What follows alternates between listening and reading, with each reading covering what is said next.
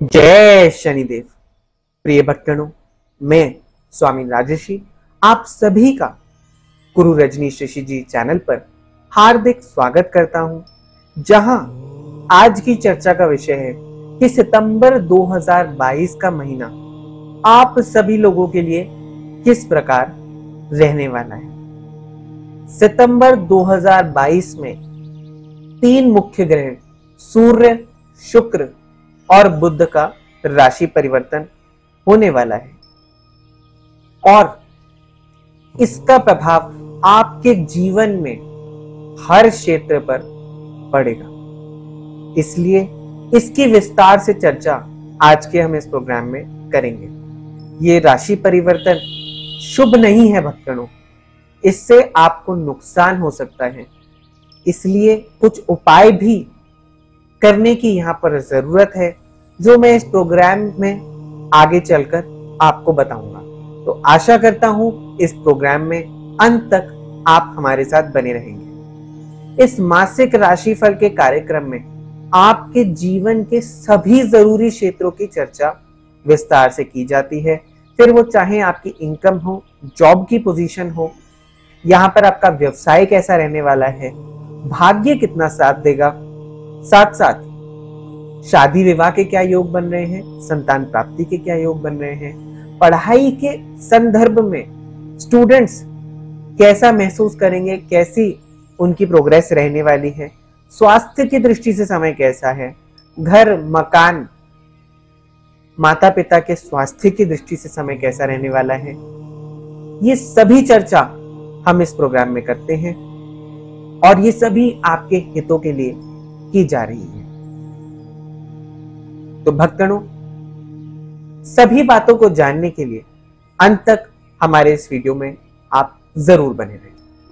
साथ साथ मैं आप सभी के लिए जनता दरबार की जो सूचना है, उसको दोहराना चाहूँगा, उसको बताना चाहूँगा। ये जो जनता दरबार है भक्तगणों, आप सभी भक्तगणों के अनुरोध पर शनिपीठ मंदिर में लगाया जा रहा है। जहाँ पर मुफ़्त में हम अपने सभी भक्तगणों को जीवन में आ रही हर परेशानी के उपाय बता रहे हैं। यहाँ पर एक रुपया भी फ़ीस में आपसे नहीं लिया जा रहा है और हर गुरुवार, हर शनिवार, हर रविवार को ये जनता दरबार, आप सभी भक्तगणों की सुविधा के लिए शनि पीठ मंदिर, ईस्ट पटेल नगर, नई दिल्ली में लगाया जा रहा है। यदि आप मुझसे मिलकर अपनी परेशानी के उपाय प्राप्त करना चाहते हैं तो आप इस जनता दरबार में रविवार के दिन पर शिरकत कर सकते हैं। सुबह 11 बजे से लेकर दोपहर 2 बजे तक ये जनता दरबार आपके लिए लगाया जाएगा।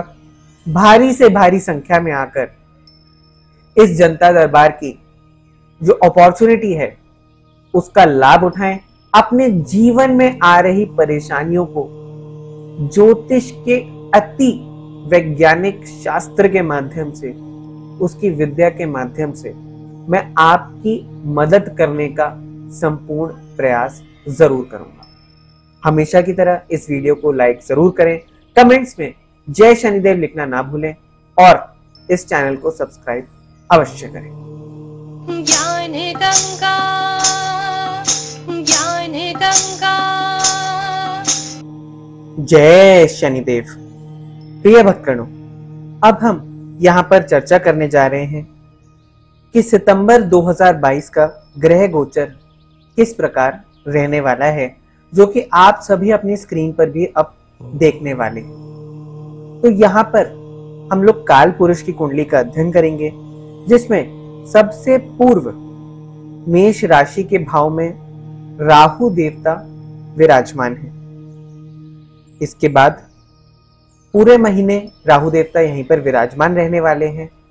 फिर हम आगे चलते हैं वृषभ राशि में, जिसके मालिक शुक्र हैं और शुक्र की राशि में मंगल ग्रह पूरे महीने विराजमान रहने वाले हैं।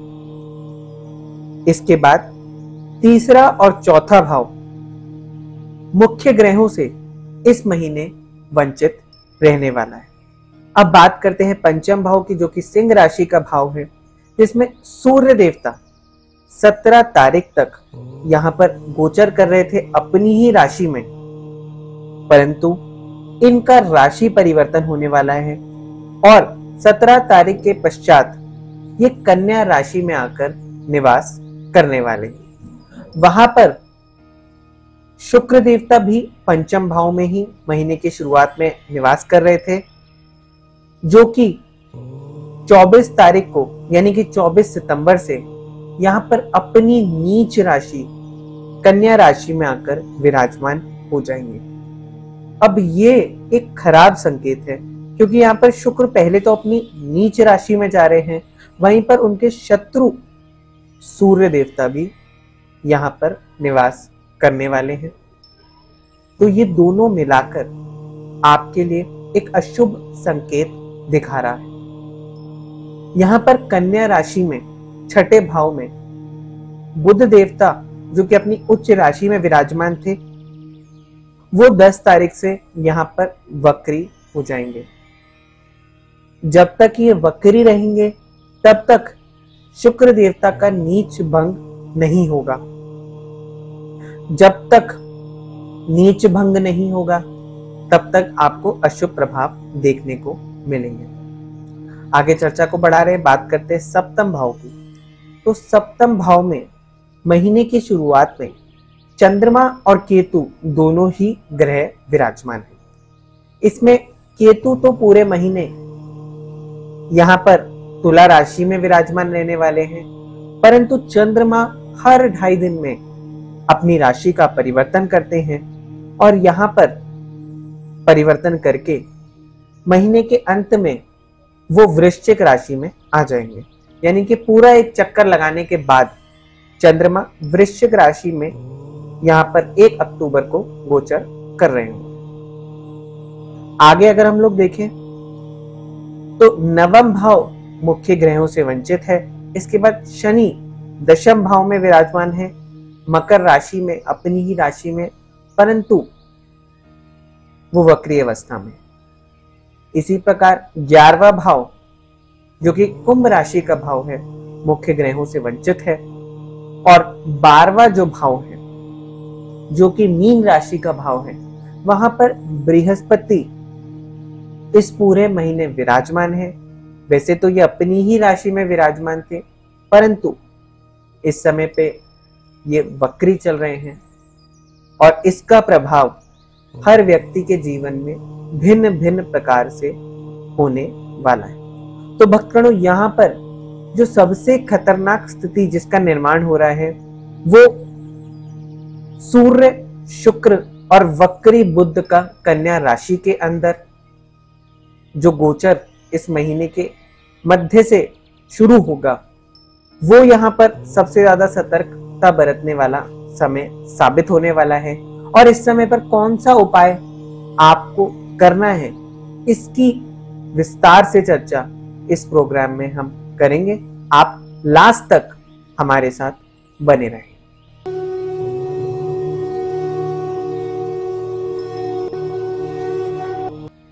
आगे चर्चा को बढ़ा रहे हैं, बात करते हैं जॉब की दृष्टि से या अपने व्यापार की दृष्टि से। हालात कैसे रहने वाले हैं आपके वर्क प्लेस में या जॉब मिलने की कितनी संभावनाएँ हैं? या फिर प्रमोशन मिलने की कितनी संभावना है? तो इसके मालिक चंद्रमा देवता है। हर ढाई दिन में अपनी राशि का परिवर्तन करते हैं। महीने की शुरुआत में लग्न भाव में केतु से ग्रसित होकर चंद्रमा विराजमान इनके अगर हम शुभ दिनों की बात करें कि कौन से दिन दिनों में चंद्रमा आपको शुभ फल प्रदान कर सकते हैं तो मुझे यहाँ पर दिखाई देता है तेरह या चौदह तारीख के आसपास आपको कुछ शुभ फलों की प्राप्ति हो सकती है।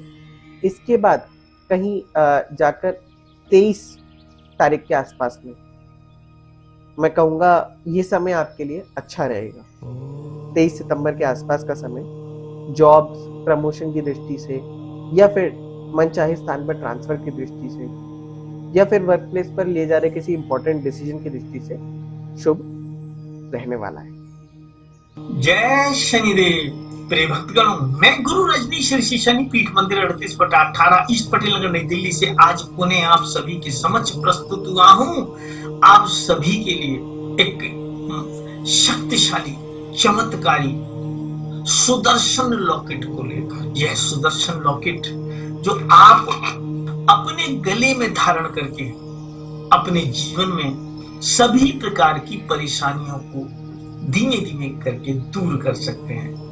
इस सुदर्शन लॉकेट के अंदर सभ्यस्त नवग्रह देवताओं का रतन या उपरतन लगा हुआ है।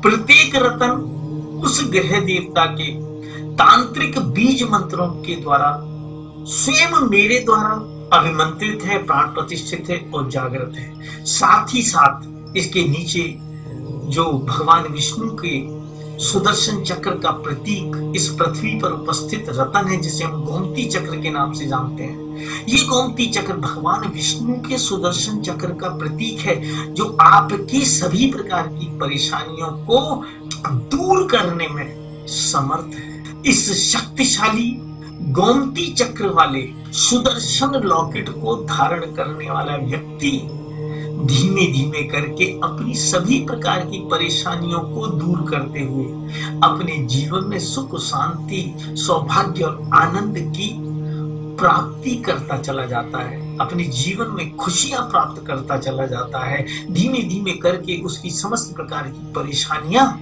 दूर होती चली जाती हैं। तो वो सभी व्यक्ति जो मेरा वीडियो देखते हैं वो तो बहुत अच्छी तरीके से जानते होंगे, मेरे वीडियो के बीच में आप ही लोगों के बहुत सारे वीडियो लगे होते हैं, जिसमें आप जैसे भाई, बहन बोल रहे होते हैं कि उन्होंने मेरे द्वारा दिए गए उपाय से किस प्रकार से अभूतपूर्व फ़ायदा उठाया है। उनकी परेशानियाँ किस प्रकार से अभूतपूर्व रूप से दूर हो गई हैं और वो निरंतर तरक्की के मार्ग पर आगे बढ़ते चले जा रहे हैं। यह सब परम पिता परमात्मा की उस साधना के फल स्वरूप है, जो मैं पिछले बत्तीस वर्षों से उनके मंत्रों की, विभिन्न मंत्रों की साधना नित्य प्रति करता हूँ। उस साधना के फल स्वरूप मेरे को जो शक्ति प्राप्त हुई है, उसी शक्ति से यह दिव्य सुदर्शन लॉकेट को मैं मंत्र सिद्ध करता हूँ, प्राण प्रतिष्ठित करता हूँ और जागृत करता हूँ। साथ ही साथ मैं आप लोगों के लिए इस लॉकेट के साथ साथ उन सभी लोगों को लिए, जो इस लॉकेट को खरीदेंगे, उनको प्रभु साधना की अनुपम अनमोल पुस्तक जो आपको पूरी दुनिया में हमारे अलावा कहीं नहीं मिलेगी, क्योंकि इसका एक एक शब्द मेरे स्वयं के द्वारा रचित है। जिस साधना को मैं पिछले बत्तीस वर्षों से कर रहा हूँ, वही साधना अपने जीवन के अंतिम पड़ाव में आकर मैं आप सभी लोगों को सुपुर्द करता हूँ, ताकि आप इस साधना के बल पर अपने जीवन में परम पिता परमात्मा की डायरेक्ट कृपा डायरेक्ट आशीर्वाद प्राप्त कर सके और अपनी सभी प्रकार की परेशानियों को दूर कर सके इस अद्भुत पुस्तक में, जिसमें विभिन्न देवी देवताओं के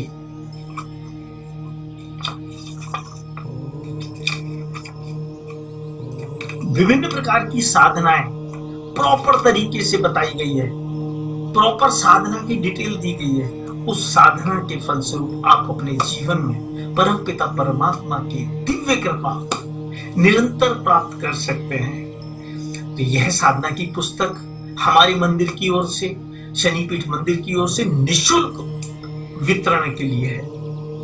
जो व्यक्ति यहाँ आकर इस पुस्तक को फ्री ऑफ़ कॉस्ट लेना चाहते हैं, उन सभी का स्वागत है। वो बिना किसी चीज़ के आकर ले जा सकते हैं। किंतु जो लोग खाली इस पुस्तक को घर बैठे प्राप्त करना चाहते हैं, उनके लिए निश्चित रूप से एक पोस्टिंग पोस्टेज का कोरियर चार्जेज और शिपिंग और पैकेजिंग के जो खर्चे हैं, वो उनको अवश्य ही देने पड़ेंगे। तो जो भी व्यक्ति इस अद्भुत और चमत्कारी सुदर्शन लॉकेट को अपने नाम की पूजा के अनुसार मंगवाना चाहते हैं, मन से प्राण प्रति से जागृत, जिसे मैं स्वयं करता हूँ, उसे घर बैठे प्राप्त करना चाहते हैं तो बिना किसी झिझक के